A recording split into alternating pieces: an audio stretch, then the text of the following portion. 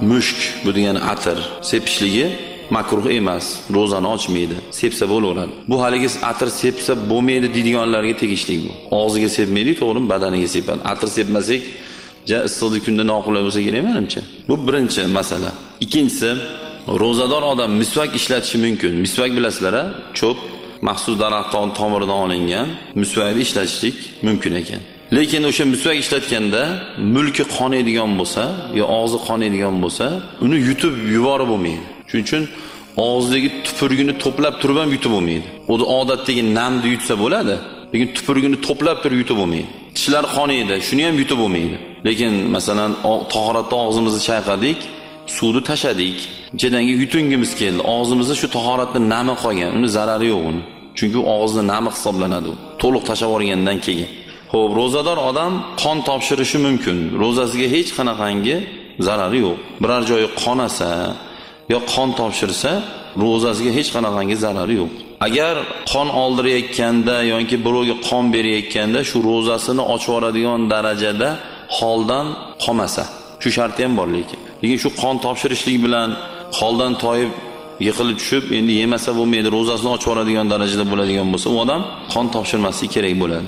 Ho'p ro'zador odamni qayd qilishligi qusadi deydiku. Qayd qilishi. Qayd qilishda agar u odam o'zi ixtiyoriy qayd qilsa ro'zasi ochiladi. Agar o'sha qayd qilish o'zi kelib ketadigan bo'lsa o'zi ichkaridan kelib ketdi majbur kelib ketdi u insonni ro'zasiga hech qanaqangi ta'sir bo'lmaydi. Islom yulduzi kanali dunyoga mukammal sigaret chekish tamaki nos bularda ro'za ochiladi. Endi hamma biladi buni lekin ro'za ochilish masalasini ham endi bilib qo'ygan yaxshi. Bir narsani tatdi. Masalan bizda ayollarimiz kitoblarda keladi eri ichi ovqat bemaza bo'ladigan bo'lsa qattiq tayadigan odam bo'lsa desa o'shani ayoli ovqatni tatib tuzini tatib qaytib tashlab yuborsa bo'ladimi desa bo'ladi agar o'shani yutmasa tuzini tatib. Lekin shuni qilmagan afzal qilmagan afzal. Mabodo qilib qo'ygan bo'lsa endi ro'zasigacha karohiyat yetadiyu lekin ro'zasi ochilmaydi. Ro'zani qasddan buzish eng katta gunohi kabiralardan biri hisoblanadi.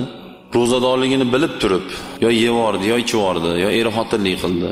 Bu eng katta gunohi kabira hisoblanadi bu. Xudo saqlasin. Bilmasdan yesachi desa payg'ambarimiz alayhissalomni hadislari bor.